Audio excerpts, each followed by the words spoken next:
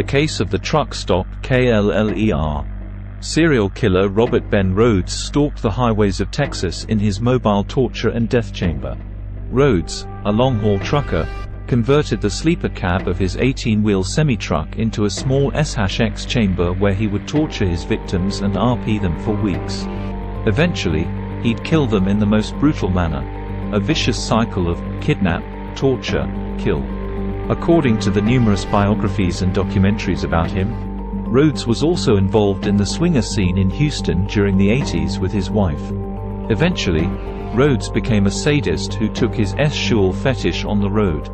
As he traveled throughout the United States using interstate highways, it's believed that Rhodes picked up and killed more than 50 people beginning in 1975, although he was only convicted of three murders.